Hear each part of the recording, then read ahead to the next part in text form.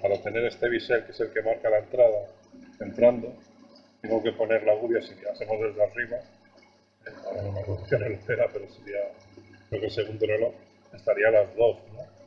La bancada sería a las 3, pues estaría a las 2 o la 1 para entrar.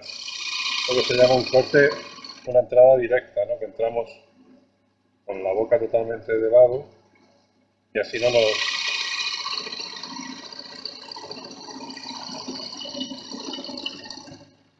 no nos baila, ¿no? Eso es importante ¿eh? cuando si tenemos la costumbre de seguir con la boca como a 45 grados, es un error aquí, porque lo que pasa es que agarrará, si dibujamos la boca como la ponemos, es decir, la ponemos así, la tangente que genera es esta, entonces la tendencia es a salir disparada hacia afuera. Eso es lo que le digo que es un problema aquí porque hay gente que quiere hacer el borde aquí y pone la gubia a 45 grados y entonces sale para afuera, ¿no?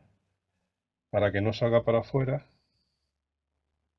la gubia tiene que estar, la boca de la gubia, mirando a las tres. De manera que esta es la tangente y se queda y se mantiene.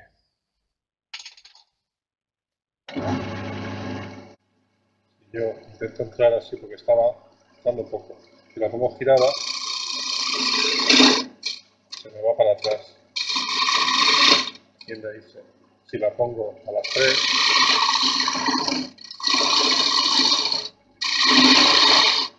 clavo. Solo que la suba un poquito, ¿Ves?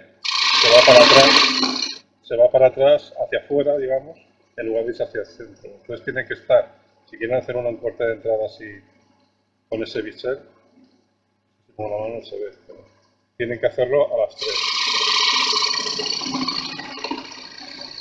Y la gubia corta donde le han dicho ustedes.